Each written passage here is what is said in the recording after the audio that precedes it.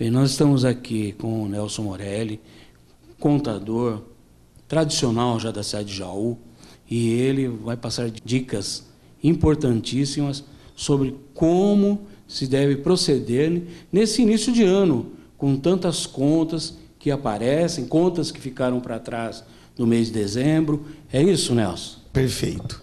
Na verdade, a educação financeira ela deve ser exercida a todo momento, tá?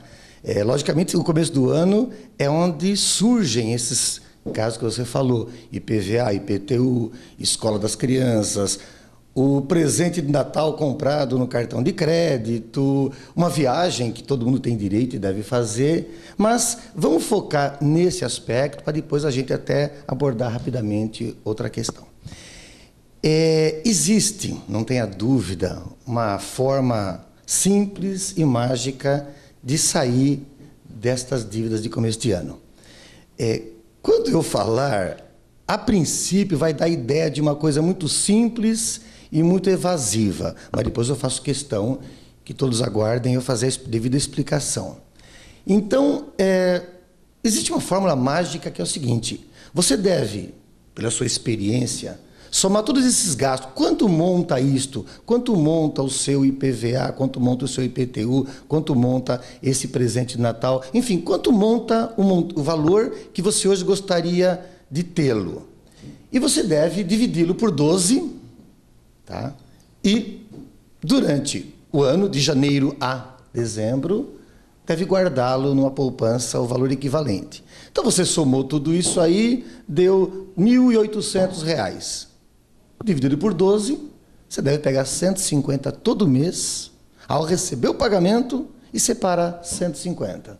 No final do ano, você vai ter 1.800, que é exatamente o que você precisa para pagar essas contas.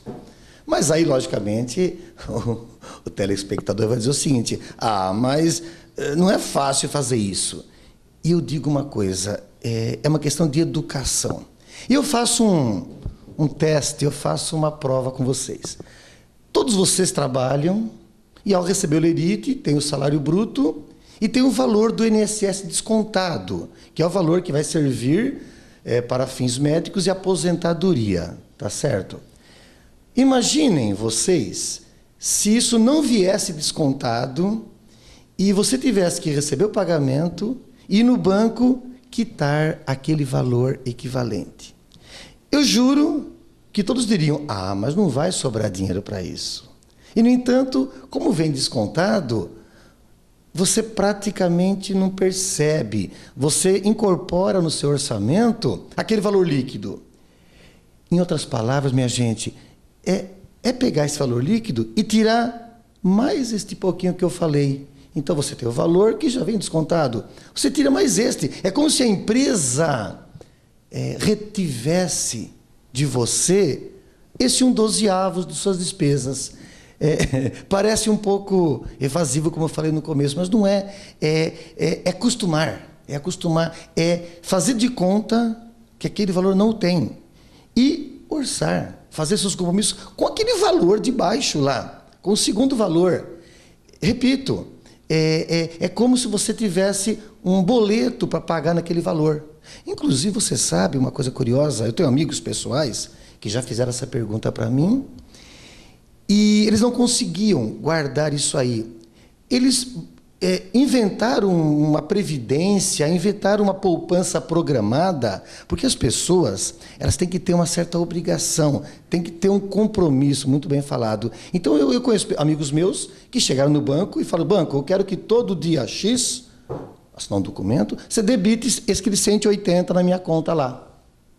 E debitou, fim do ano, vai lá, saca o montante, em janeiro começa novamente, saca o montante. Então, de tão simples que parece essa, essa minha questão, a hora que você põe na prática, e quando você incorpora que aquilo é uma despesa mensal, você assume todo dia ao receber, eu vou tirar essa quantia e guardar. No primeiro ano que você fizer isso, você não vai ter contas a pagar mais em janeiro.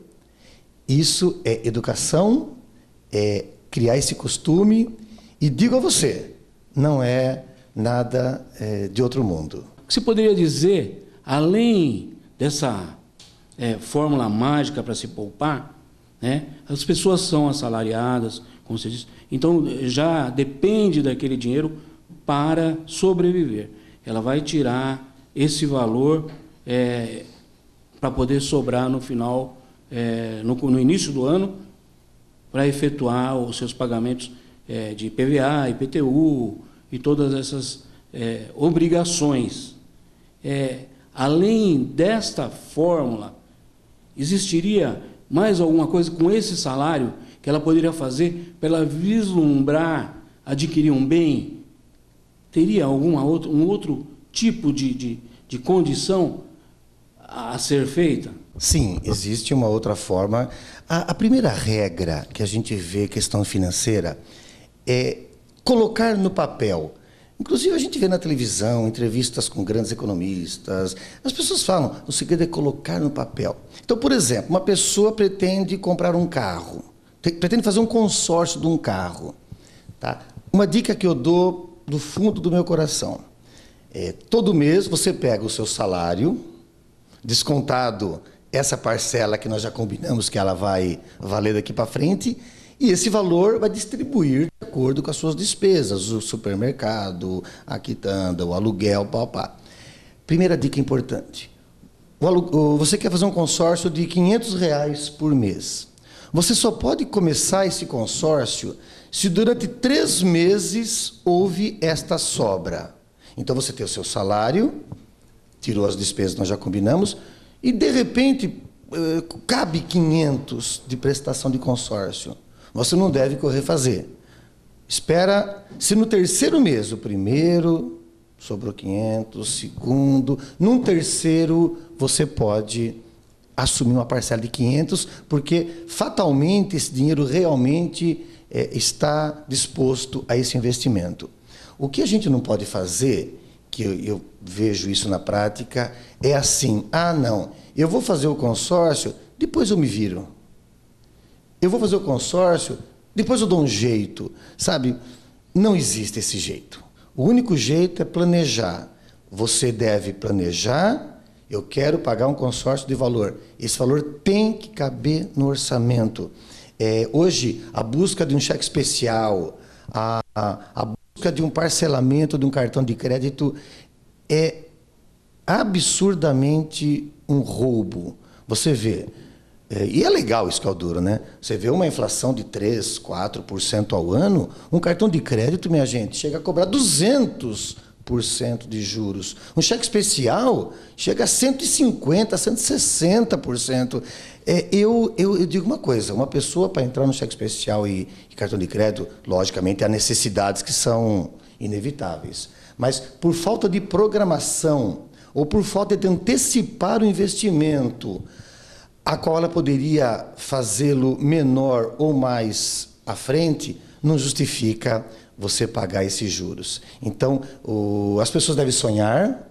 É, enquadrar o sonho no seu orçamento. Gente, é, é, eu conheço, tenho contatos, pessoas que ganham dez vezes mais do que qualquer outra pessoa que eu conheço e não são felizes. Ao passo que eu conheço pessoas que ganham dez vezes menos que muitas pessoas que eu conheço e são. Qual é o segredo? Enquadrar no seu orçamento. Se eu ganho X, eu vou tirar esse parcelinha lá e vai sobrar isso? Vamos, eu vou me enquadrar nisso. Buscar ganhar mais é uma obrigação, é um desejo, é um gosto, mas nunca é, usar aquela frase assim: olha, é, eu vou fazer isso porque afinal de contas eu mereço, vai. Sabe o que eu acho que você merece, telespectador? Merece dormir e ser feliz. E assumir dívidas, pagar juros, eu garanto, você não merece isso não, pode ter certeza.